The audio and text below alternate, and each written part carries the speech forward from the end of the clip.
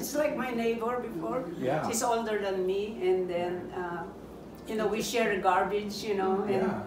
and I said, how come she's not bringing the garbage yet, you know? So I called one of his friend, and he said, did you see Melba today? And, uh, and he said, no, you know, and I said, something might happen to her. Yeah. So Go the son lives in Auburn, Right. yeah, but the friends, I know them, you know, Yeah. we, we know each other. Yeah. Yeah. So we went and checked with, with And he's her. over And She was Yeah. there in the bathroom, she cannot get up. Oh my.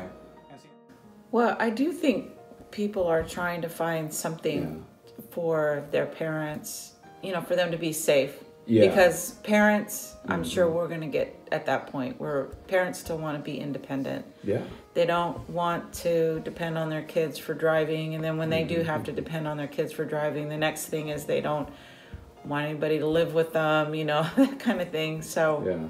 I think for chil- for adult children, you know, any a variety of options is helpful. Sylvia always told me that bring your telephone when you're working outside because Yeah. you don't know what happened for you in there.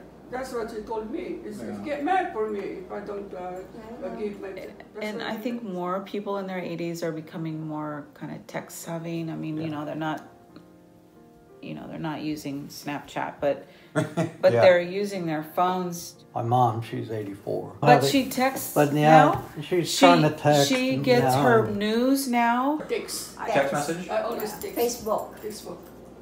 That's the only thing. Gosh, I remember working at the hospital in SLO and we'd get these, you know, 70, 80 year olds that, you know, were biking and, you know, that that's what they did. They biked for Yeah. miles and they jogged for miles and Yeah. really fit where, like, Yeah, that's, Yeah, I go all- to senior citizen Oh, once a week go s- I don't want for the go- Zumba. That's She better goes than for Zumba. fitness. Yeah. Yeah, it's it's. It's you know, you better have than my Zumba. lunch there too. It's only three dollars. What do you What do you like to do with with y'all free time when you do have free time? I think if we were a little healthier, maybe I would we would do some more things outside. But What do you mean by free time? Oh, my free time is mine to sleep. Hey, I like sleep too, so yeah, I'm not. I like the I like the voice, the American The Voice, Idol, uh, The X Voice. Factor. Just- Volunteer. And yeah, volunteering. Yeah, yeah, that's really where we see our friends at is Yeah, that's- volunteering.